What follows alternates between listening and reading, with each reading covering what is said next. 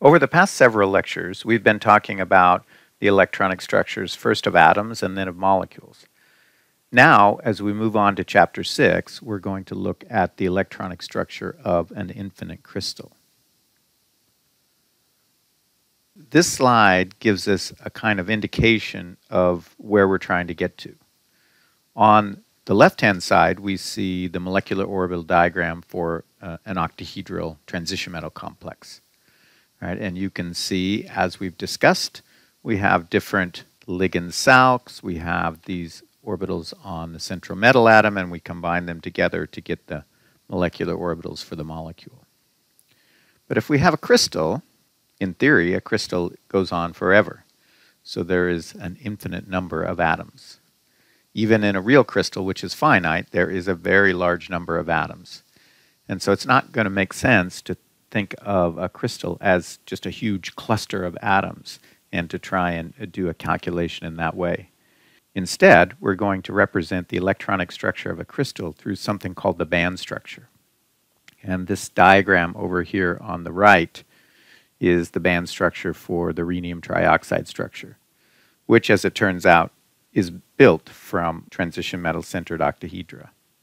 So, really, the goal of what we're trying to do in this chapter is to understand how this diagram on the right, sometimes called a spaghetti diagram by chemists, relates to the atomic orbitals and the bonding. So, we're going to follow pretty closely chapter 6 of our book, uh, solid state materials chemistry. And as you know, I'm one of the authors of that book, and chapter six was one that I was heavily involved in writing. However, I do just want to point out that this scientist, Roald Hoffmann from Cornell, did a lot of the really important early thinking about how to talk about the electronic structures of these crystals in the language of chemistry. And so this little book here, which is, I think, maybe 140 pages, that was published in 1989. That was a, a, very influential book for me, and you can still find it. So if you want to dig a little bit deeper, then I'm able to go in chapter six of the book. This would be an excellent resource. On our journey to the structure of an infinite solid, let's start with molecules, and let's build those molecules up bigger and bigger until they get to something that looks like an infinite solid. So in this lecture, we're going to keep things as simple as we possibly can. We're going to talk about molecules where the only atom is hydrogen, which of course only has one valence atomic orbital to deal with. And we're going to limit our discussion to a one-dimensional solid. And so what do I mean by that? I mean just an infinite chain. So there's translational symmetry in one dimension, but not in all three. Now, if you take an infinite chain of hydrogen atoms and chop it up into smaller and smaller segments, the smallest such segment would be the H2 molecule, right? And a couple of lectures ago, we talked about the MO diagram of an H2 molecule. We've got a bonding molecular orbital, shown here. We've got an antibonding molecular orbital, shown here. Now, if we make this molecule bigger, but make it into a ring, you can go to a ring of six hydrogen atoms, and the MO diagram for this molecule is entirely analogous with the pi bonding in benzene that we talked about a couple lectures back. We can keep making the molecule bigger. Here's 10 hydrogen atoms. Here's a ring of 14 hydrogen atoms. Here's the calculated molecular orbital energies for a ring of 50 atoms. And there's some common trends that come out of this analysis. Firstly, as we know from MO theory, the number of molecular orbitals here is going to be equal to the number of atoms because each hydrogen atom has only one atomic orbital to deal with. We can see that no matter how big we make the ring, we're going to fill up exactly half of the molecular orbitals, right? And that's a consequence of the fact that each hydrogen atom has one orbital that can hold two electrons, but only one valence electron. And as the molecule gets bigger and bigger, you see the energetic spacing between the molecular orbitals gets smaller. There's still a fair spacing here when we get to 50 atoms in our ring. But if I were to go to 1,000 atoms, if I were to go to 10,000 atoms, if I were to go to a million atoms, right, which is still not a very big crystal, by the way, then uh, you know the spacing would get very, very close. And if we were to go to something that was infinite, what we would see is that there's an infinite number of molecular orbitals, but only half of them are filled. We also see something that we're going to come back to in a minute, and that is notice at the bottom and at the top that the molecular orbitals are more closely spaced, whereas in the middle, the spacing between them is a little further apart. So remember that. Later on in this lecture, we're going to come back to that. You noticed on the last slide that I drew pictures with orbitals shaded light or dark until I got to the one that was, you know, infinity. And then I just shaded things in. How do we construct or think about the orbitals that exist in an infinite solid? It's worth remembering that when we constructed the electronic structure of a molecule, we used molecular orbitals, and those molecular orbitals we took to be linear combinations of atomic orbitals. Well, we're going to do the same thing for a crystal.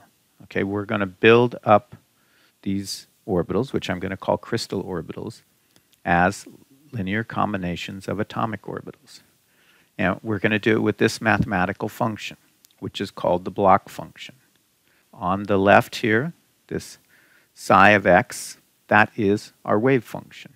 So it's just a mathematical function. And the x is the position along this infinite one-dimensional chain. That wave function is made of two different components. We have this u of x. We're going to call that the basis set. And that's going to be a function that is periodically repeating. In other words, even in a one-dimensional crystal, we still have a unit cell. And the basis set function is going to be exactly the same in every unit cell. Now, as we will see, the basis set we're going to choose here is going to be the molecular orbitals of the molecule or atoms within the unit cell. And of course, the molecular orbitals are made from atomic orbitals. So for the hydrogen atom chain that we're talking about in today's lecture, the basis set is just the wave function of a hydrogen 1s orbital. But then we have this other term, this e to the ikx. Right? So this is a complex number. That's what the i means. And the point of this term is it's going to impose the periodicity of the lattice.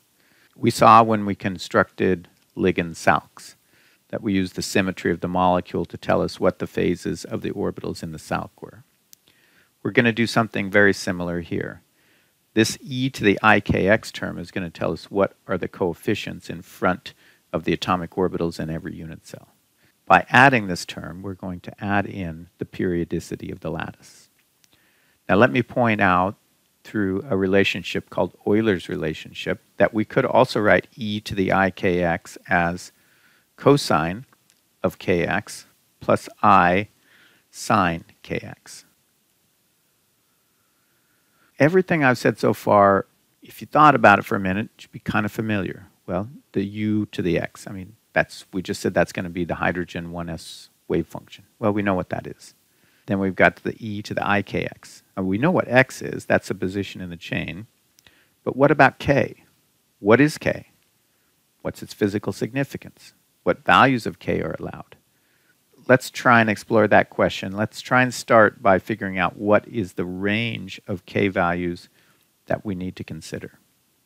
So here's our infinite one-dimensional chain. If you want, it's probably a little bit easier for right now not to think of it as being infinite, but just think about it as being one of those rings of hydrogen atoms. Let's make n large enough that the curvature of the ring can be neglected. So let's say we have a ring of 10,000 hydrogen atoms. Now, if we start at some point like half an angstrom from the hydrogen that we're going to call the origin, and we were to going to go all the way around the ring, so if it had 10,000 atoms in it, so we go 10,000 times the lattice constant A, which is the spacing between hydrogen atoms, we would be back around to the same point. And therefore, the wave function has to keep the same value. So we can say that the value of the wave function at x must be equal to the value of the wave function at x plus capital N times A, where capital N is the number of atoms in the ring and A is their spacing. So when we let the chain become infinite, we'll see that we can just call this a periodic boundary condition. When we get to the boundary, the value of the wave function at one end has to be the same as it is at the other end.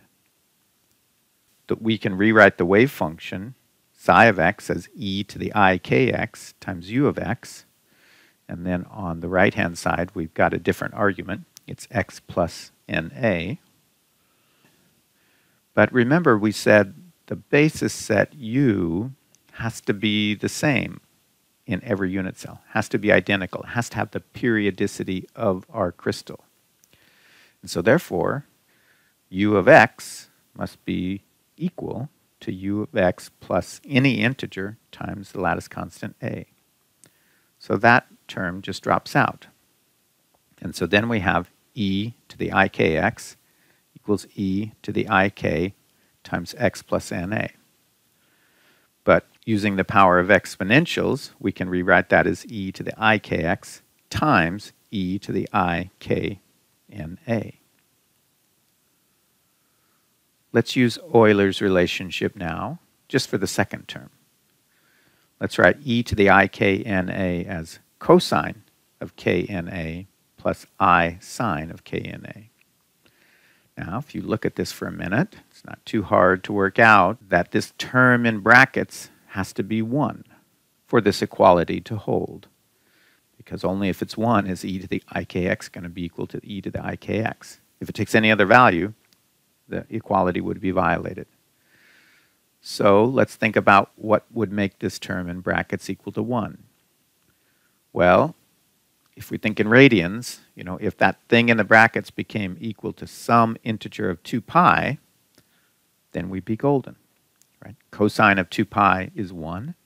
Sine of 2 pi is 0. Cosine of 4 pi is 1. Sine of 4 pi is 0. So forth and so on. So that means that k, which we still haven't really figured out what k means, but it's a variable, times n, Capital N is the number of atoms in our chain, times A, the spacing between them, the unit cell constant, if you want to think about it that way, must be equal to some integer times 2 pi. Let's rearrange this so we solve for k. So k is going to be equal to small n, which is just an integer, times 2 pi divided by large n times the lattice constant a. Okay, let's think about the MOs in a large but finite ring.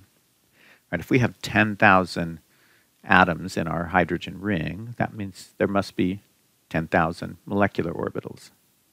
If we let the value of small n be either positive or negative, it means, you know, it could be 1 and minus 1. Could be 2 and minus 2. Could be 3 and minus 3. All the way up to plus 5,000 and minus 5,000. And at that point, we would have generated a molecular orbital for every atom in the crystal. Now, if you look at this for a minute, you say, well, what if I let my ring get bigger and bigger? Not 10,000, but 100,000, a million, 10 million. Well, what's going to happen is these values of k are going to get ever closer together as capital N gets bigger. But you know what? The endpoints aren't going to change because this last term out here, it's just going to be pi over a, no matter what value capital N takes. Right? So as capital N goes to infinity, as the molecule size goes to infinity, the range of this series doesn't change. It goes from minus pi over a to positive pi over a. So this range of k values is called the first Brillouin zone. And really, to the electronic structure, the first Brillouin zone is like the unit cell is to the crystal. Once we know the electronic states in this range of k values, we know everything we need to know about the electronic structure. Okay, so this might all seem slightly abstract to you, so let's illustrate it with an example. Let's go to our one-dimensional chain of hydrogen atoms. We're going to let this be infinite now. And let's write the mathematical functions for our different crystal orbitals. So let's start with k value be 0. This would be right at the center of the first Brillouin zone. So this is the formula for our crystal orbital. But if k is 0, then we're going to have e to the 0 times the wave function of the 1s orbital that is at the origin. This one's going to become e times 0 times the wave function of the 1s orbital that's at one unit cell from the origin, and two unit cells, and three unit cells, and four unit cells, and so on and so forth. But the key thing is that the coefficient in front of each of these orbitals is going to be 1. E to the 0 power is 1, regardless of what x is, regardless of where we are on the chain. So now our wave function is just the sum of the hydrogen atom wave functions at each atom in the chain. So if we were to just draw out the first six atomic orbitals, it would look something like this. And you can see from looking at this picture that all of the orbitals are going to interact constructively. And so this is going to be a bonding MO. And in fact, you cannot imagine any way to combine all of these hydrogen 1s orbitals to get a state that is any more bonding. So this is going to be the most bonding state in the first Brillouin zone. This is going to be our lowest energy crystal orbital. We could plot this mathematically. Here on the left, I'm showing just a summation of a 1s orbital on each hydrogen atom. So these little dots represent the positions of the nuclei of the hydrogen atoms. And this plot up here, I've just added their individual wave functions. Then the e to the ikx term, when k is 0, is just going to be 1. So this term just becomes a constant. And therefore, the crystal orbital wave function looks just like the sum of the hydrogen 1s atomic orbital wave functions. That's the mathematical description of it. Now, let's go to another point in our first Brillouin zone. And now we're going to go all the way to the largest value of k we can experience and still be in the first Brillouin zone, and that would be k equals pi over a. Right? Remember, a is our one-dimensional unit cell constant, the spacing between hydrogen atoms. I'm going to start again with this same formula. But now, of course, k is not 0. It's pi over a. So we're going to make it pi over a everywhere. But the x value changes. All right. So for the atom at the origin, right, right at that nucleus, the x value would be 0. For the atomic orbital that is at one unit cell from the origin, there the x value is going to be 1 times the unit cell parameter. For the hydrogen atom that is two unit cell constants from the origin, the x value is going to be 2a, so forth and so on. Now, if we think about Euler's function here, right, this whole term here is going to be 0. So this is going to be e to the 0. Okay, that's going to be a 1. The next one is going to be i to the pi. Right, the a's are going to cancel. Well, cosine of pi, right, in radians, pi is 180 degrees. Cos cosine is minus 1, sine is 0. Then we look at the next one. This one's going to be 2 pi. Cosine of 2 pi is positive 1, and sine is 0. And then we're going to have 3 pi, and that's going to be, uh, once again, a negative 1. So we're going to get an alternation between the coefficient in front of our atomic orbital being a positive 1 or a negative 1.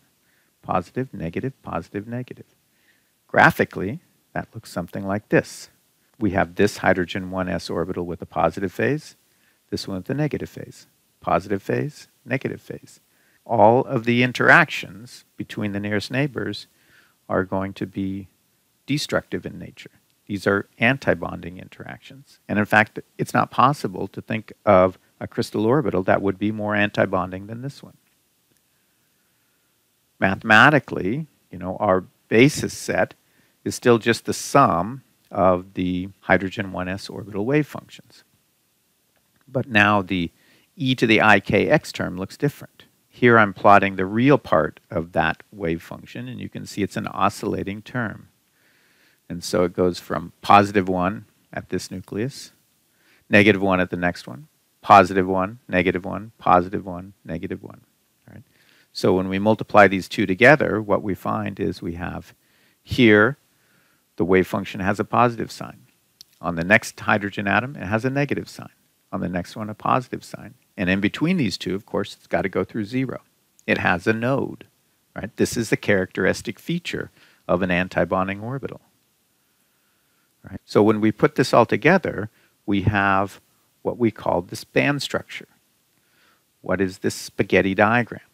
Although here we have a very simple spaghetti diagram. It's only made with one piece of spaghetti, you might say. But there's some things that we can get from it. At k equals 0, at the center of the first Brillouin zone, we have a crystal orbital where all the interactions are bonding. So that's got to be the lowest energy crystal orbital. At pi over a, we saw that all of the interactions are antibonding. That's got to be a higher energy. And in fact, it's got to be the highest energy crystal orbital we're going to find in the first Brillouin zone. If we were to go in the negative k direction, you know, because of the properties of the cosine and the sine terms, we're going to get basically a mirror image. Now, from what we've done so far, we only really determine the energies of three points. So we don't really know if this should be straight lines between these points or, or this curve that I've shown here. The curve I've shown here is calculated with extended Huckel theory. So if you were to go through and do those calculations, you can see that it has something that's almost parabolic shaped in nature. But we might take a minute just to think about what the crystal orbital would look like somewhere in between these two extremes. Let's take pi over 2a. It'd be halfway between the center of the first Brillouin zone and then the boundary of it. So at pi over 2a, because now the denominator has a 2 in it, it's still going to be a sinusoidally varying function, but it's just that the repeat distance is now going to get longer. So we have to go four unit cells before the wave function starts repeating. So we see that the e to the ikx term, it has what we could call a wavelength and that wavelength here is 4a. Now, more generally, we can say that the wavelength is going to be equal to 2 pi divided by the value of k. Right, here, k is pi over 2a, so if we plug that in, we're going to come up with a wavelength of 4 times the unit cell constant a. When we multiply this function times our basis set, we get this crystal orbital, if we were going to draw a picture of this, here we would have, you know, a negative phase. At the next atom over, the wave function goes to zero. There's a node at the next atom, so we don't draw an orbital at all. Then at the next one, now we have a positive phase, and then a missing orbital because of the node, and then a negative phase. Here you can see that the nodal planes are now two atoms apart. Remember when it was k equals pi over a, between every single atom, we had a node. So this orbital is less antibonding and therefore not as high in energy as the wave function at pi over a, but on the other hand, higher in energy than it was at k equals 0. All right, maybe we can now return to this question about what exactly is this variable k? And the answer is we can think of k in a variety of ways. In one sense, every crystal orbital is going to have a different value of k. If it's a finite ring rather than an infinite chain, and that finite ring has 10,000 atoms, then there's 10,000 different values of k, and each one is a different molecular orbital. In an infinite crystal, there's an infinite number of values of k, but each one of them describes a different crystal orbital with different phasing of those hydrogen 1s wave functions. So it determines the coefficients that are in front of the different atomic orbital wave functions. And so in that sense, we can think of it as a label. We also saw that the value of k tells us something about how rapidly these coefficients oscillate from positive to negative. Right? So it tells us something about how rapidly the atomic or molecular orbitals within the unit cell oscillate. From that, we can get basically a wavelength of our crystal orbital. And then we could use de Broglie's relationship, which tells us that the momentum of an object, a matter wave, is equal to Planck's constant divided by the wavelength of that matter wave. If we use this value of lambda from up here and plug it into de Broglie's relationship, then we get this relationship. The momentum of the electron is equal to h bar times the value of k. And so we see that k also tells us something about the momentum of the electron. And in that sense, it's called a crystal momentum. And we'll see for things like optical transitions that has important consequences. Now, how can we relate what this band structure looks like to the real space details of the crystal structure? Well, here we have something incredibly simple, right? We just have an elemental solid. It only extends in one dimension, so there's not that much we can do. But we could change the spacing of the atoms. The electronic structure that's plotted here shows the band structure if we had the hydrogen atoms one angstrom apart, just arbitrarily. And you can see that the highest energy crystal orbital has an energy of about 20 electron volts, and the lowest energy crystal orbital has an energy of about minus 20 electron volts.